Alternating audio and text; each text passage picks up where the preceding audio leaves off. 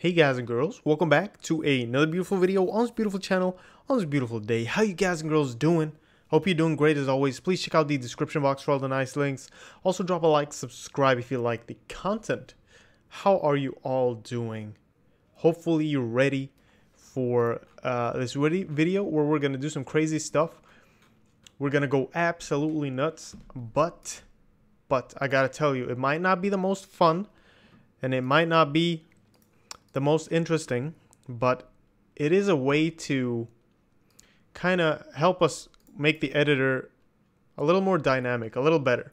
And you can use this technique in just about any state you want. If you want to divide it up further, you could even use this in game state. And the technique is basically to create a editor mode. All right, a, a uh, abstract class called editor mode and we're going to use this to create different modes for the editor. And we're going to use this state uh, array that we're already using that type of technique for this.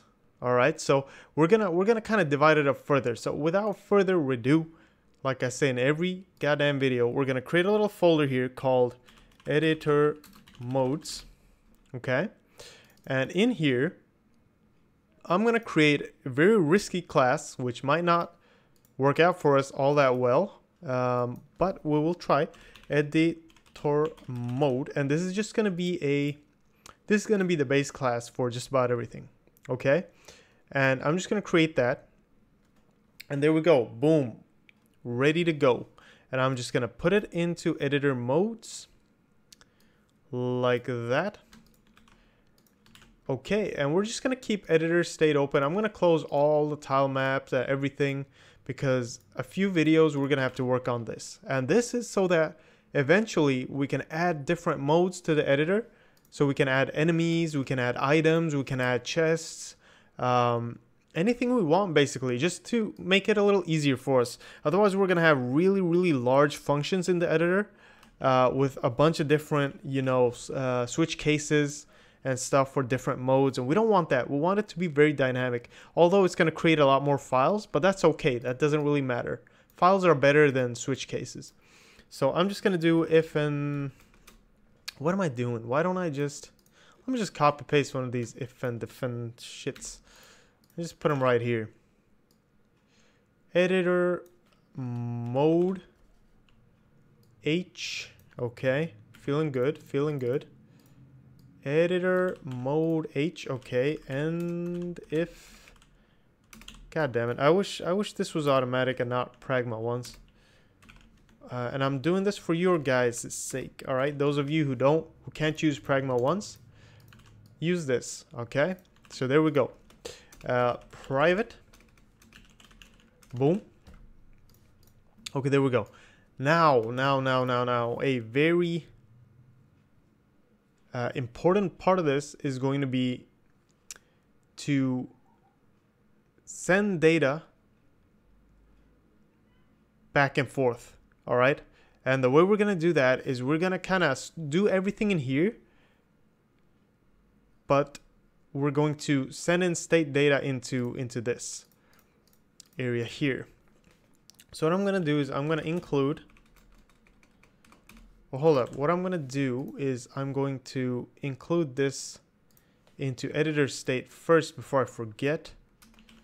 Include editor mode.h. Okay, there we go. Class editor mode. Boom. And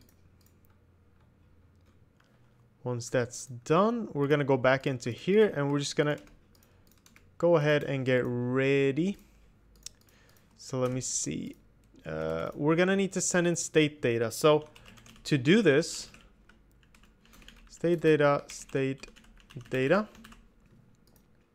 Okay, so uh, I was just thinking and I'm dumb. So what we need to do is we need to include state.h here and forward declare it class uh, state and then also class state data since we define that in the same file. So once you do that, then this should work for you. And you got to put this in the CPP file as well. And just put that right in there. Uh, just like that was already. And we need to kind of create a private variable here. This. Now, if we want private or protected, that's the thing. I think I'm going to go with... Um, you know, I think I'm going to go with this. Uh, state data pointer state data. And this is very important because we need all the settings and stuff. And then state data state data. There we go. Once that's set you have your state data. You can do anything you want with it.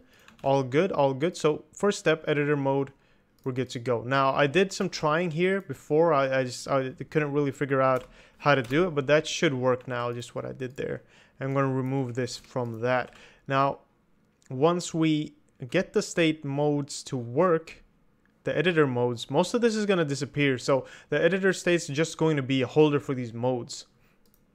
And that will... Um, yeah, there you go. Uh, that will um, make it very interesting. Make it very, very interesting. So once this is done at least, let's just go ahead and think how we're going to work with this. I'm, I'm thinking we're probably going to need most of these things for the mode to work. So why not just copy this and most of this? Pretty sure about that. So to copy that, what I'm going to do is put it in the H file here under functions. Okay, and since this is a, a uh, this is going to be a uh, what do you call it? Again, abstract class. We're to have to put some equal to zeros over here. But let's think. So we're to have some input. We're to have, we don't need editor input. Buttons, we're probably to have that. We're to have GUI. Um, pause menu, nope, we're not going to have that. We're going to have a regular update, render the buttons, render the GUI, just render everything else. This is a good good setup, good startup. Um, pretty alright, pretty alright. Once that's done, once that's done, we gotta think. Maybe we could have render buttons in GUI in one. And then update GUI could also include the buttons.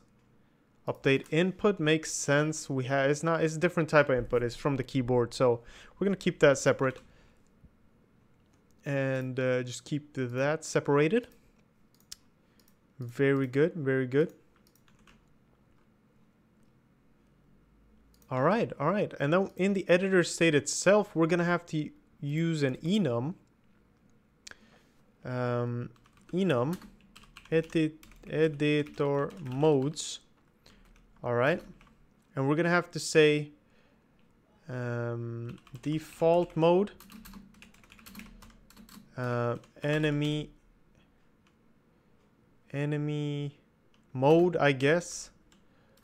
Uh, and then probably whatever. We'll get to that. We'll just have one default mode and an enemy mode for now, and we'll go from there.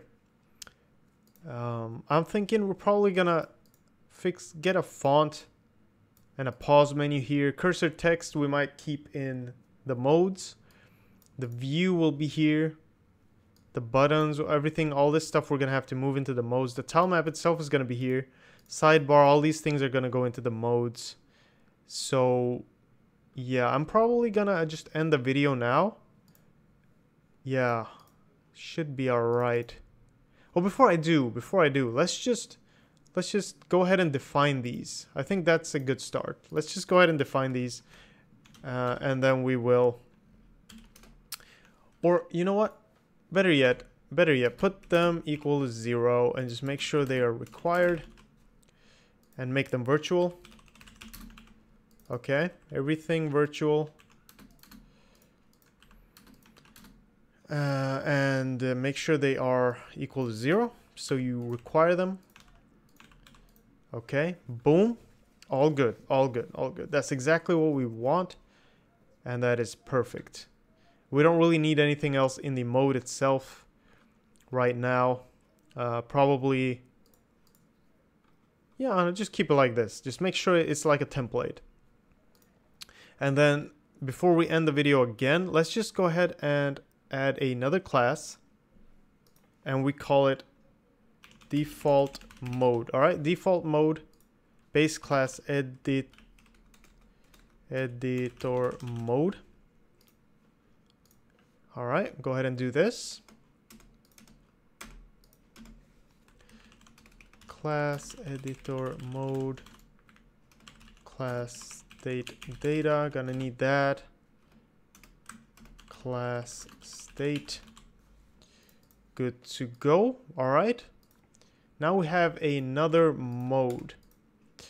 And for this to work, obviously we're gonna have to implement all of these. But to start off, I'm just gonna take this and put it into the constructor like this and just do editor mode state data. So that's the first step. At least the constructor is going to work now uh, like this and that should be fine.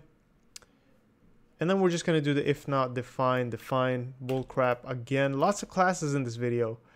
Sorry about that, but we got to do it. We have to do it. Uh, default mode. It should actually be called default editor mode. Okay, yeah, it should probably be called default editor mode. Let's just do this. Uh, and if and if default mode and it's not that hard a default editor default editor mode. Just do that boom copy paste all right default editor mode. Just do that no big deal no big deal.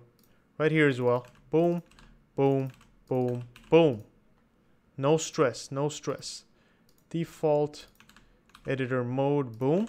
Okay, and then we're just gonna go ahead and rename that. First of all, I'm gonna put it in here like that, and we're gonna just rename it. Default editor mode, and rename that. Default editor mode, and open those up. And we should have no errors whatsoever right now. Good, all right. Cool, cool. And once we, when we work with this, we're gonna have to include all of these uh, editor modes basically, or we could just have editor mode and add them into it. I'm not sure how we're gonna do it, but we will see. Um, we might make one header file that has all of those includes and just include that into the editor state and we go from there. But we'll discuss that in the next video. Sorry for the weird slow video. Lots of new classes lots of new crap. I know might not be the most fun video to watch but it's important. Once we get the system to work we're gonna have a lot easier time in, in handling stuff. So basically all we did was just create these classes with these basic functions. And this is the editor mode is abstract. Remember that. Equals to zero pure virtual functions and all that. Uh, but there you go. Thank you so much. Thanks for all the support check out the description box. Consider joining Discord. Also, dropping a like and subscribing. All right. Thank you so much. Take care. And I'll see you guys and girls in the next one. All right. Bye bye.